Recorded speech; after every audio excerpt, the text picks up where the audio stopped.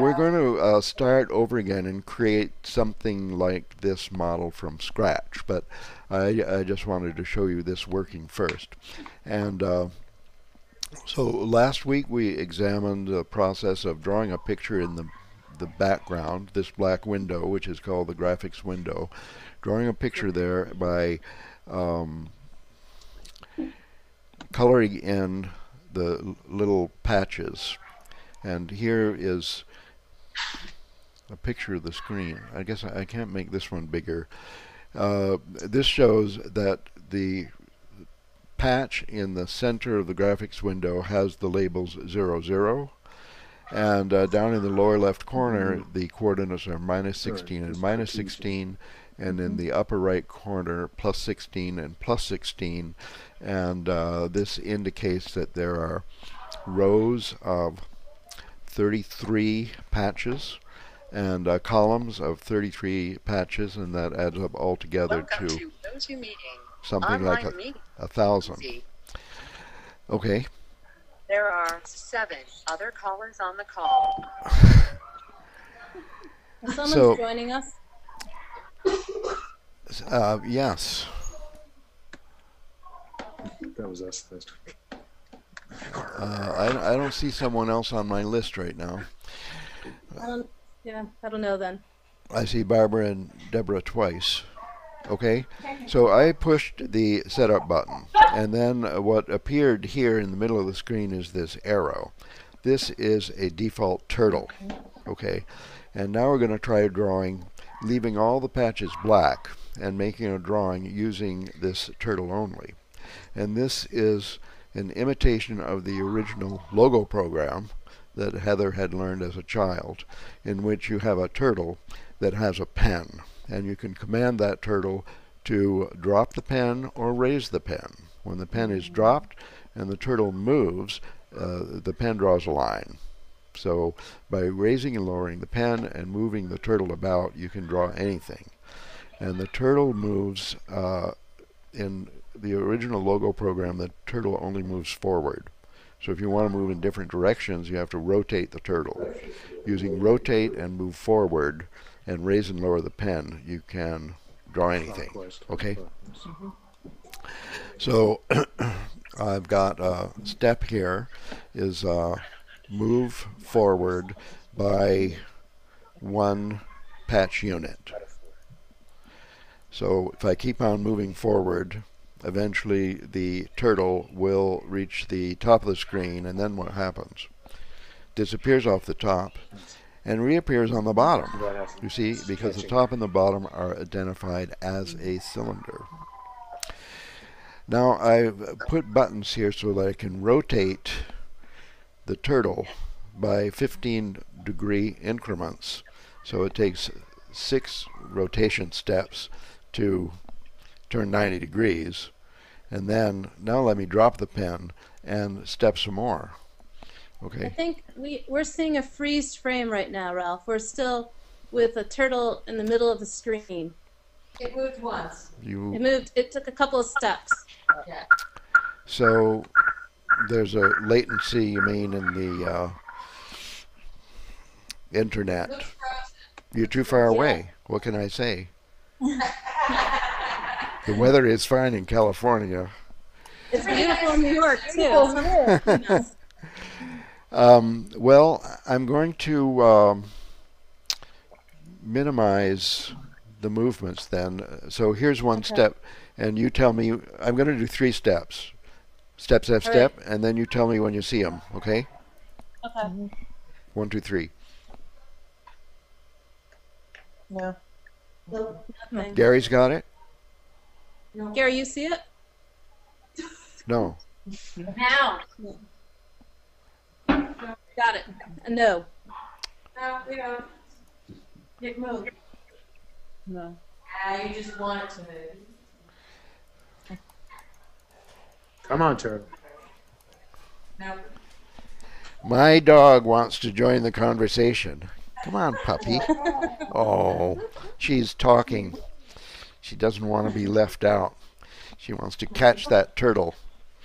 Um, I have to show you how a piece of code results in a turtle moving.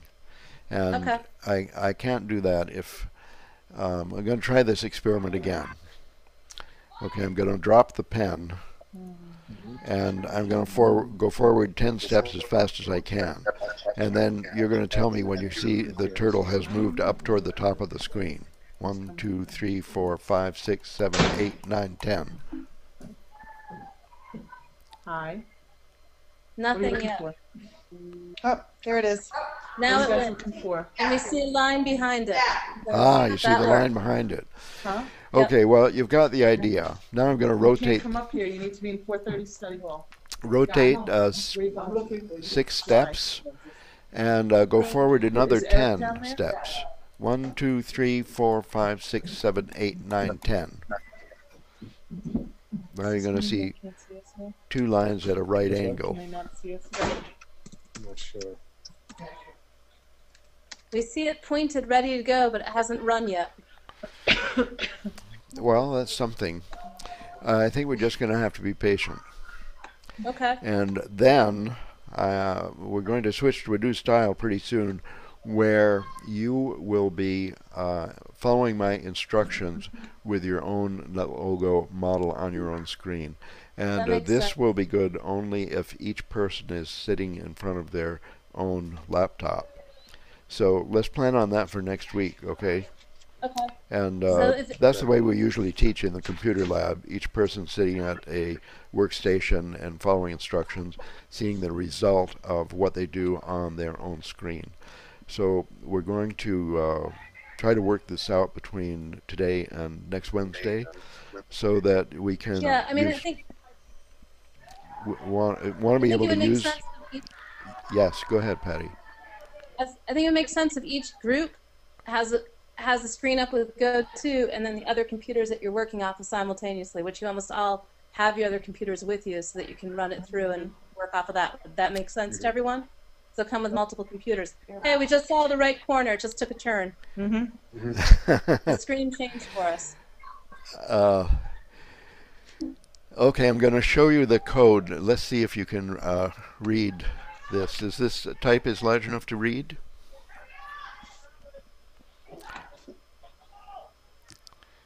Say that one more time. Uh, can you read where it says to set up? We see a setup button. Oh yeah, now it's come up. Yep. Now we see it. Yep. Yeah. The code is up now. Where? You don't see it? Huh? No. It's up on my screen. Yeah. Yeah, I don't know why. Uh, you know, I have um, a box with six video windows in it, and I'm pretty much seeing all of your videos uh, in real time without a serious delay. So I don't understand why the one window, uh, which is my presenter window, is uh, so slow for you, and I think we need to find a way around that. I'm gonna call go GoToMeeting A box popped up. whatever and see. I will go to GoToMeeting and see what I can find out. They might be able to help us. Their helpline. Yeah. Well, we might um, we might want to use a different technology for the uh, projection. Anyway, uh, Patty and I will be working on that during this week. Okay. See if we can uh, Yep. f- figure this out because Can we, can I don't know Yeah. Yes. I don't know what it. to do if I can't Oh, uh, show you instant changes on my presenter screen. So here it says to set up. Here it We says have that. CA, uh, clear, clear all, and that is the only command that we had in the setup procedure last week. And this week we have two commands in the setup procedure. One is clear all, CA, and the other is CRT1, which means create one turtle. And that one turtle appears as the red arrowhead or triangle in the graphics window that we've seen. When you create a turtle in NetLogo, it might point in any random direction, and uh, it will have some default size, which is very small, and uh, default color. So I want to control those things. So after create one turtle, I have inside these square brackets three commands. One is set heading to zero.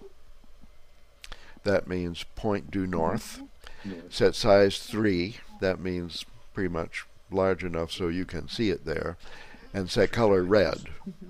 Now the color of the turtle is going to be the same as the color of the pen when we say drop pen. So if you want to draw a yellow line, then we'll say uh, ask this turtle, which is called turtle zero, ask this turtle to set color yellow. That's one way to change color. Another way might be is to have two turtles, one with a red pen and the other with a yellow pen. Then here it says to step. Do you see my can, is my cursor visible that I'm waving it around? To step. Yeah. So uh, ask turtle zero to do something. The something is inside the square brackets, and the something is forward one. That means one patch size. So jump ahead one patch size. And then the drop pen button asks the turtle to do a PD, which is that means pen down. Put your pen down.